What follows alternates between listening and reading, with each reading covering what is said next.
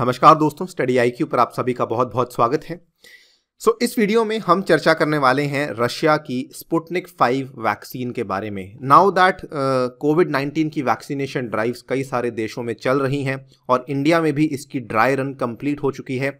In fact government ने announce कर दिया है कि जनवरी 16 से हम इसका जो ऑफिशियल वैक्सीनेशन है वो शुरू करने वाले हैं। तो ये जानना काफ़ी इंपॉर्टेंट है कि असल में जो स्पुटनिक 5 वैक्सीन है जिसकी लगभग 100 मिलियन डोजेज हैं जो इंडिया ने खरीदी हैं इसके बारे में हमें कुछ कुछ चीज़ें जाननी काफ़ी इंपॉर्टेंट है। सो so, उसी चीज़ की चर्चा हम करेंगे इस वीडियो में। काफ़ी कुछ जानने को मिलेगा। चलिए स्टार्ट करते हैं मेरे साथ। मेरा नाम है अनिरुद्ध। यदि आप लोग इस लेक्चर की पीडीएफ को डाउनलोड करना चाहते हैं तो मेरे टेलीग्राम चैनल से कर सकते हैं। इसके अलावा सोशल मीडिया पर भी आप मेरे साथ जुड़ सकते हैं। स्टडी आई क्यू ऐप को डाउनलोड कर सकते हैं from the Google Play Store और ऐप पे फ़िलहाल चल रही है लोड़ी के अवसर के लिए बहुत ही बढ़िया सेल जिसके चलते आपको एक्स्ट्रा डिस्काउंट अवेलेबल करवाया जा रहा है। यदि आप यूपीएससी की तैयारी कर रहे हैं या फिर स्टेट पीसीएस की तो इस कोर्स को ज़रूर बाय कीजिएगा। थाउज़ेंड एम पॉलिटी इसमें हमने एक बहुत ही इंटरेस्टिंग क्वेश्चन आंसर फॉर्मेट में क्वेश्चंस को डिस्कस किया हुआ है। Right right.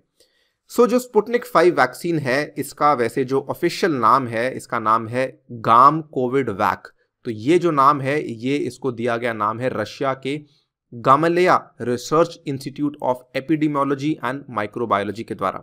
ये स्पुटनिक फाइव जो नाम है, ये केवल इसका ट्रेड नेम है या फिर इसको व्यापार के लिए जो नाम दिया गया है that is called as Sputnik five. और ये कोविड नाइन्टीन की वैक्सीन है और ये one of the earliest vaccine which was registered against COVID nineteen उनमें से आती है। इसकी रजिस्ट्रेशन 11 अगस्त 2020 को ही हो गई थी by the Russian ministry of health इसकी जो इमेज है, इसकी जो फ़ाइल इमेज है, जो कि रशियन मिनिस्ट्री ने रिलीज़ की है, वो कुछ इस तरीके से आप देख सकते हैं, इसके ऊपर रशियन में लिखा हुआ है, जो स्पुटनिक फाइव लिखा हुआ है।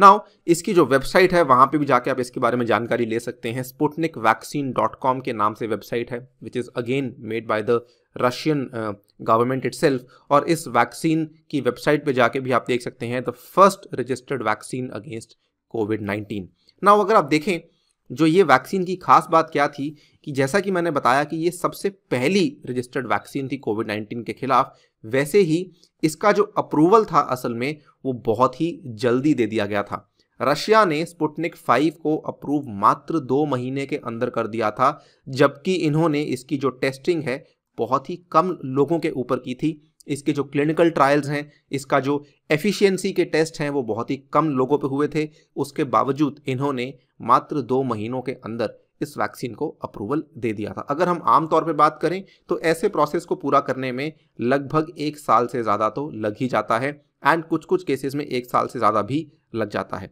नाउ, इस पर्टिकुलर इमेज में आप बहुत ही अच्छे से देख पाएँगे।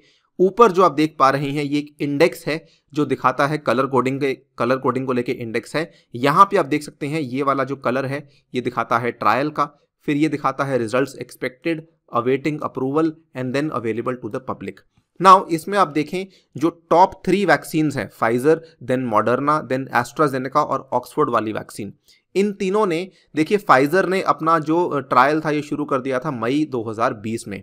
नवंबर के आसपास जाके आपको याद भी होगा फाइजर ने अनाउंस किया था कि हमारी वैक्सीन लगभग 90 परसेंट सक्सेसफुल है। उसके बाद अवेटिंग अप्रूवल लगभग एक महीने के लिए अप्रूवल ख़त्म हुआ और अब ये पब्लिक के लिए अवेलेबल है। आज की डेट में यूएसए में मैक्सिमम जो है वो फाइजर और मॉडर्ना की वैक्सीन ही चल रही है। मॉडर्ना के लिए भी ऑलमोस्ट सिमिलर प्रोसेस था।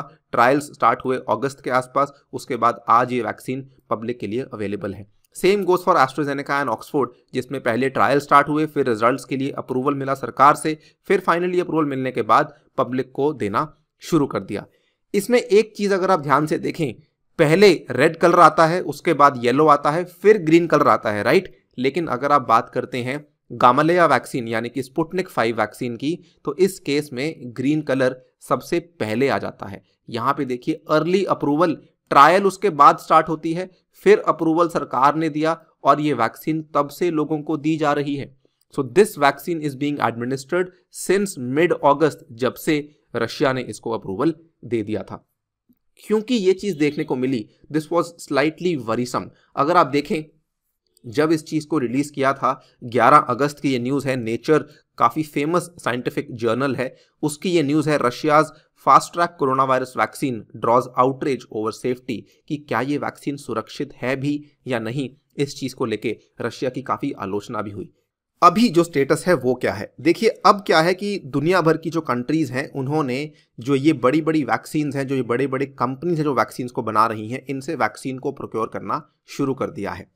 ना जब मैंने आपको बताया कि इवन दो रशिया की जो वैक्सीन है, इसको अर्ली अप्रूवल मिल चुका था, जबकि इसके ट्रायल्स कंप्लीट नहीं हुए थे, और अगर आप देखें, इसका जो ट्रायल का पूरा होने का पीरियड भी है, वो भी काफ़ी छोटा है एज़ कंपेयर टू जो ये आपकी वैक्सीन हैं फिर भले वो फाइजर वाली वैक्सीन हो जिसके बहुत लंबे ट्रायल्स चले, फिर भले वो मॉडर्ना की हो, फिर भले वो एस्ट्राजेनेका या ऑक्सफोर्ड की हो, लेकिन जो ये वाली वैक्सीन का ट्रायल पीरियड भी काफ़ी छोटा है।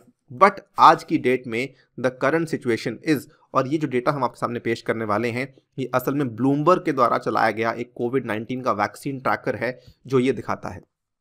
इसको ध्यान से देखिएगा। अभी क्या है, जो ये आपके साथ में राइट साइड पे इमेज है, ये दिखा रहा है कि जो ये एस्ट्राजेनेका और ऑक्सफोर्ड वाली वैक्सीन है, ये दुनिया में सबसे ज़्यादा सर्कुलेशन इस वैक्सीन की हुई है। ये दिखा रहा है एस्ट्राजेनेका ऑक्सफोर्ड वाली वैक्सीन कितनी ज़्यादा जो है, ये इंडिया में आई है, कितनी ज़्यादा जो है, ये ईयू में गई है, उसके बाद कितनी ये यूएस में गई है एंड सो ऑन इस तरीके से ये दिखा रहा है।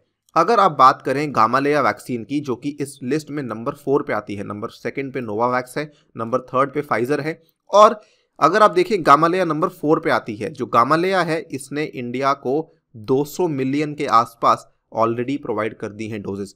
आई एम सॉरी मैंने शुरुआत में 100 मिलियन कहा था, जबकि ये 200 मिलियन का नंबर है, जो कि ऑलरेडी इंडिया को पहुँच चुका है। So this is over here India को जा रही है, फिर उसके बाद कई सारी डोजेस ब्राज़ील को जा रही हैं, और नीचे इंडोनेशिया, कनाडा वगैरह वगैरह को भी जा रही हैं, ठीक है? नाउ इंटरेस्टिंग बात ये आती है कि जब इस पर्टिकुलर वैक्सीन के ट्रायल्स इतने कम हुए हैं अर्ली अप्रूवल्स मिल गए थे तो हाउ कम आज की डेट में जो गामालेया वैक्सीन है स्पुटनिक फाइव वैक्सीन है, वो नंबर फोर पे कैसे है? ये जो नंबरिंग की गई है ये दिखाती है कि मैक्सिमम डील्स किस पर्टिकुलर वैक्सीन की हुई हैं। अगर आप देखें मॉडर्ना की वैक्सीन इवन सनोफी की vaccine and even Johnson and Johnson की वैक्सीन इनके उतने ज़्यादा बायर्स नहीं हैं जितने ज़्यादा बायर्स गामालेया या फिर स्पुटनिक फाइव के हैं।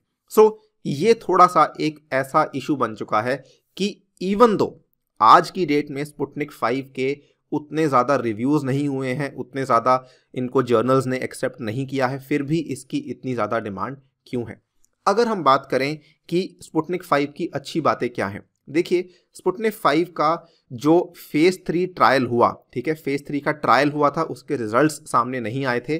फ़ेज़ थ्री जो ट्रायल हुआ था, उसमें टेस्टिंग हुई थी, जिसमें इन्होंने बाईस हज़ार सात सौ चौदह सब्जेक्ट्स के ऊपर टेस्टिंग की थी। और टेस्टिंग करने के बाद जो एनालिसिस सामने आई इसमें इनको मालूम पड़ा कि 20 लोग ऐसे हैं जो कि वैक्सीन देने के बाद भी इफ़ेक्ट हो रहे हैं।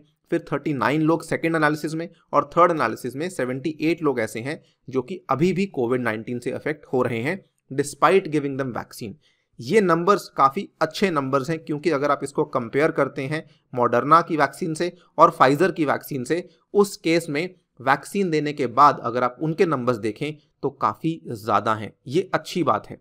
Second important thing about the Sputnik five vaccine is कि स्पुटनिक फाइव वैक्सीन ने भी नवंबर में अपने नंबर्स प्रूव कर दिए थे कि हमारी इफेक्टिविटी 90 परसेंट से ज़्यादा है। लेकिन इसमें थोड़ा सा एक चिंता वाला जो पॉइंट है वो ये आया कि ये वाला जो नंबर है, ये असल में रशिया ने ही अपने प्रेस रिलीज़ में बताया था। इसको लेकर उन्होंने अपना डेटा किसी और इंस्टीट्यूट के साथ, किसी और रिसर्च लैब के साथ शेयर नहीं किया। ये पूरा का पूरा जो एनालिसिस था, ये रशिया के ही अंदर हुआ था।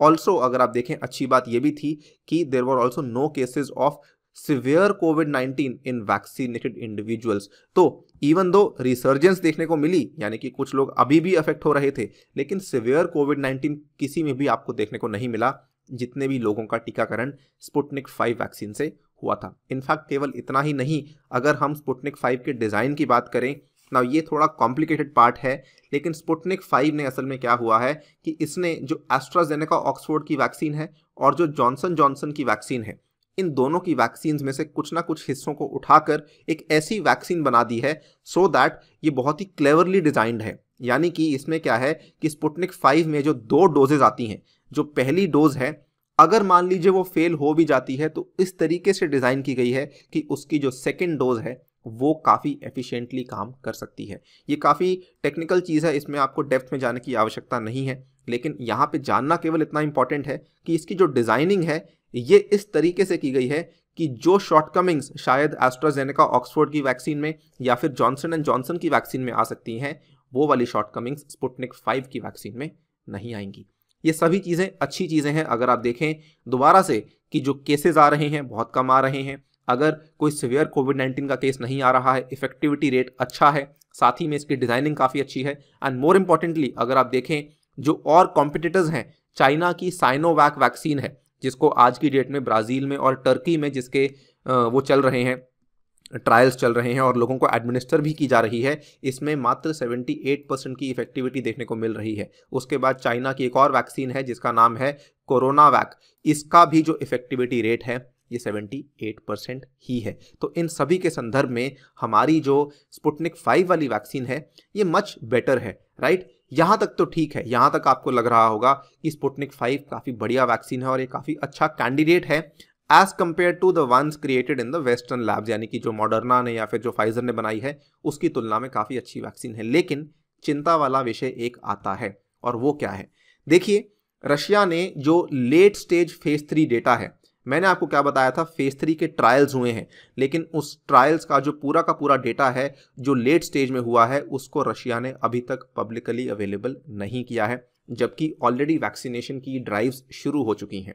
एंड मोर इम्पॉर्टेंटली जो भी हम रिलाय कर रहे हैं कि रशिया क्या बता रहा है, वो असल में केवल और केवल प्रेस अनाउंसमेंट्स पे रिलाय कर रहे हैं। और ये सेम चीज़ चाइना वाली वैक्सीन के केस में हुई है।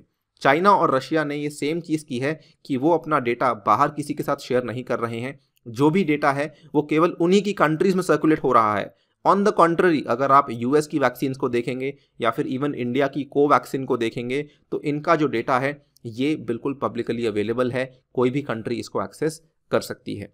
सेकेंड थिंग इज़ कि इवन दो रशिया ने इनको अपने लोगों को देना शुरू कर दिया है। लेकिन अगेन वो जो है अजम्पन पे चल रहे हैं कि इसकी एफिशिएंसी अच्छी है, इसकी सेफ्टी अच्छी है राइट सो ये अजम्पन थोड़ी सी दिक्कत कर सकती है। जब तक इसका डेटा बाहर नहीं आता, जब तक इसके डेटा को और लोग रिव्यू नहीं करते, जिसको हम पेयर रिव्यू बोलते हैं साइंटिफिक लैंग्वेज में, जब तक वो नहीं होता, तब तक नहीं कह सकते कि ये वाली वैक्सीन उतनी इफ़ेक्टिव है जितनी कि ये बोल रहे हैं।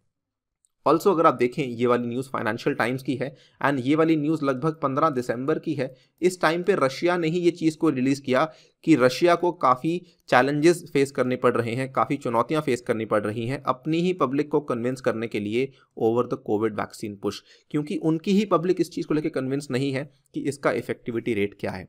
All in all I have share with you कि क्या इसके पॉजिटिव्स हैं, क्या इसके नेगेटिव्स हैं। अगर आपके दिमाग में ये सवाल आ रहा है कि कल को स्पुटनिक फाइव की वैक्सीन आपको अगर एडमिनिस्टर की जाने जाने वाली है तो क्या आप उसको ट्रस्ट कर सकते हैं?